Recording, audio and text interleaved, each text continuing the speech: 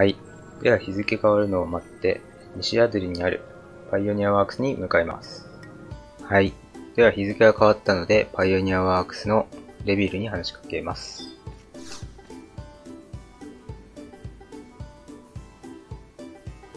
やあ、水泳の決闘場で久々に正式な決闘があったって話、知ってるかい？はい。へえ、さすがだな。じゃあ、勝敗についても知ってるわけだ。まあ、結果はともかく、その決闘の理由が悩みどころでね。開拓が始まってから、アデリンは開拓推進派と反対派に分断してしまったことは知っているだろポットでの騒ぎじゃない。今回の件は今日に始まったもんじゃないんだ。中でも若い輩は、こういう問題に敏感でね。昔は結構な事件もあったって話さ。昔の資料は？そうだな。関連する資料なら、ペレニア図書館にまとめて保管されているはずさ。うーん。あれはなんてタイトルだったかなはい。では、東アドリンにあるセレニア図書館に向かいます。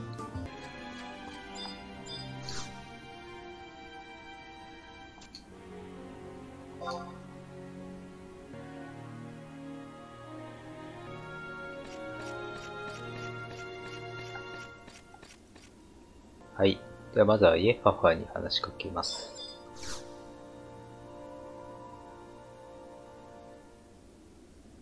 最近、ララ水道に出入りする人たちをよく見かけるのよね。ああ、あなたたちのような開拓者とは別よ。アデリの若い子たちのこと。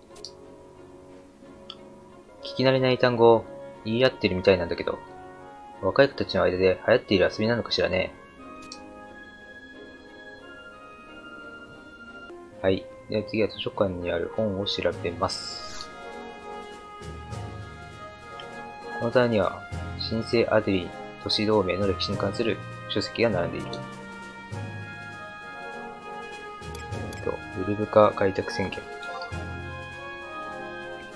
戦勝歴180年、アデリン家当主ユグナス S・ アデリンは、ウルブカの開拓再開を宣言した。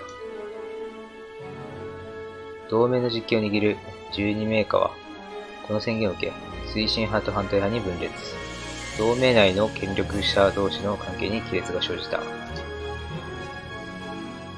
開拓者推進派党首。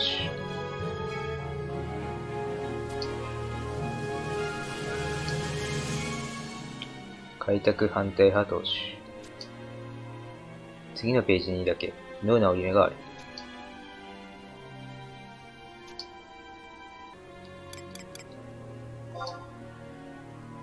はい。では一旦パイオニアワークスに戻ります。はい。ではレベルに話しかけます。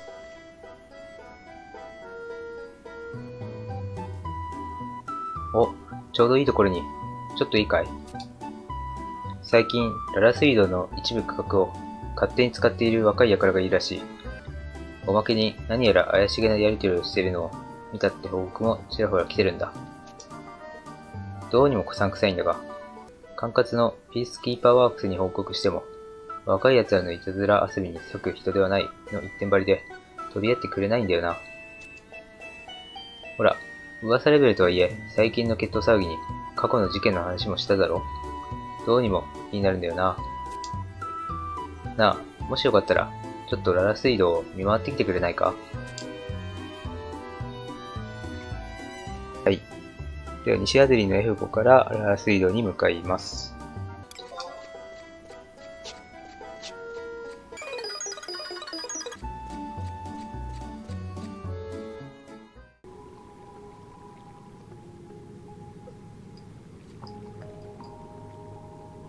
通路の先から小さな声が聞こえてくる。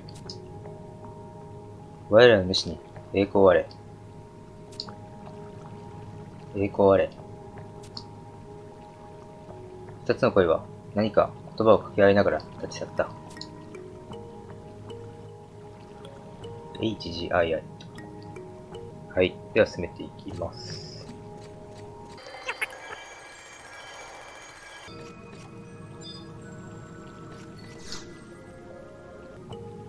我らが使い師は誰ぞ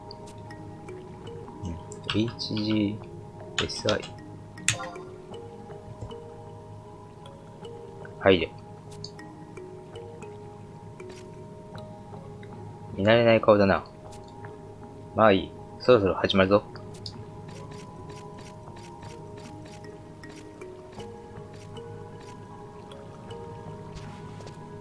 諸君、聞いてくれ。もはや猶予はない。このところ、不法な開拓の増加は目に余るものがある。アドリンの民を養うためと称して、彼らは森を荒らすばかりだ。先日はついに炎で森の一角を焼き払おうとしたものまで出た。それは真実なのか？事実だ。首謀者は捕らえられた。ピースキーパーワークスが取り調べをしておる。許せないね、そんなやつ。これは、たまさか発見された一例だと考えた方がいい。ウルブカの森は豊かだが、無権ではない。明らかに同行した量の狩りが行われているし、数の少ない貴重な草木が根こそぎ持ち去られているのだ。しかも、最近では、海の向こうの国まで開拓者を募る始末。彼ら、冒険者と呼ばれる者たちが増えてから、治安も悪化する一方だ。そも、ウルブカは、我らが母なる大地。そこをよそ者に蹂躙されていいはずがない。まあ、あの冒険者とか言われる連中は、少々開拓者としては優秀すぎるのかもな。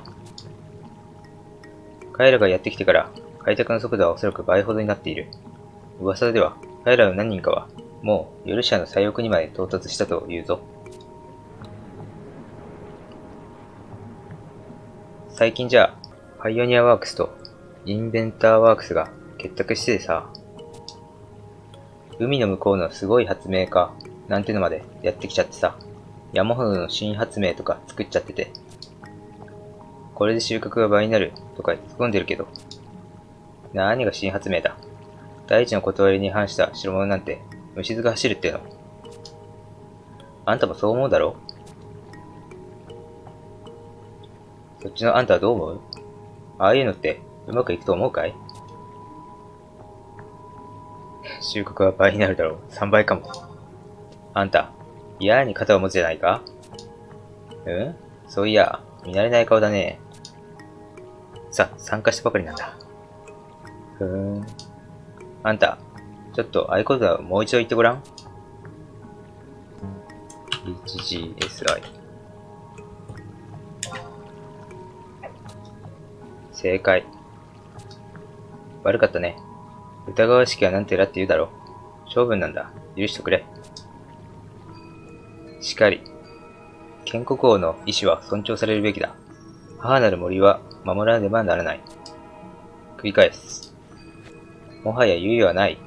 アシェラ様は次の議会にはユグナス殿が参加されることを約束なさった。そうなれば、また開拓派は勢いづいてしまう。うむ。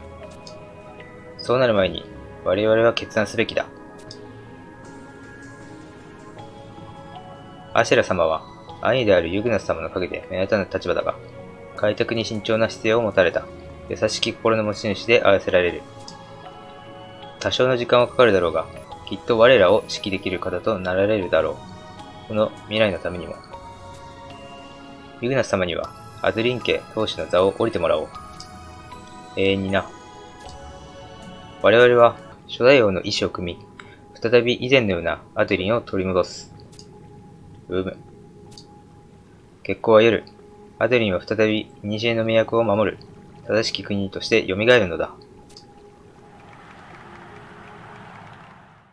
はい。ということで、えー、今回はこれにて終わりたいと思います。えー、ご視聴いただき、ありがとうございました。よろしければチャンネル登録、そして、えー、概要欄に Twitter のリンクも貼っておりますので、よかったらフォローもお願いいたします。それでは、またです。